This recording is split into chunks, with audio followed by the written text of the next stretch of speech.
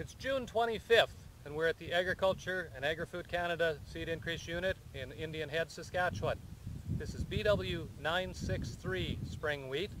This is a solid stem variety that was developed by Dr. Richard Cuthbert and his team at Ag Canada in Swift Current. Yield over three years of testing was 114% of the check varieties.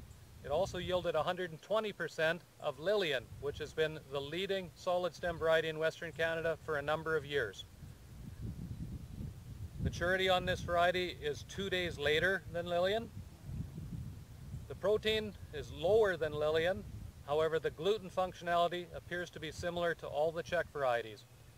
It has a significantly larger or heavier seed than all the check varieties.